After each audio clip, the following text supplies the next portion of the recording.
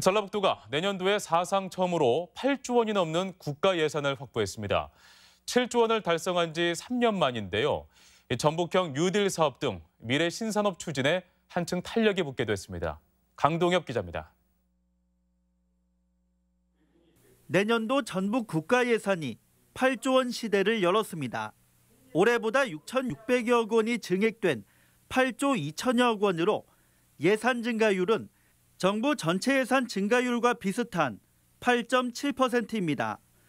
분야별로는 안전환경복지에 3조 5천여억 원, 농생명과 새만금에 각 1조 3천여억 원, 미래신산업이 7,100여억 원 등입니다.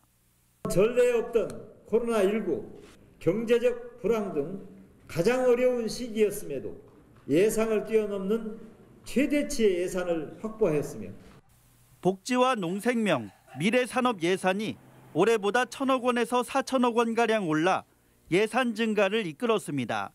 수소 시범도시 조성과 태양광 풍력 등 전북형 뉴딜 사업도 5,400여억 원이 반영돼 신성장 산업 구축이 탄력을 받게 됐습니다. 또 전라유학진흥원과 전북권역 재활병원 건립 등 4,900억 원 규모의 신규 사업도 빛을 보게 됐습니다. 예산안 처리를 놓고 진통을 겪었던 공공의료대학원 예산도 정부안보다 9억여 원 증액된 11억여 원이 담겼습니다. 다만 한국탄소산업진흥원 예산이 요구액의 절반인 310억 원만 반영되고 임대용지 등 새만금 일부 예산도 아쉬움을 남겼습니다. 국토부 또 그다음에 기재부 이런 쪽을 설득하는 과정이 전방위적으로 계속 되어야 됩니다. 사실. 근데 이제 이 부분이 아직 저희가 풀어가야 할 숙제 중에 하나입니다.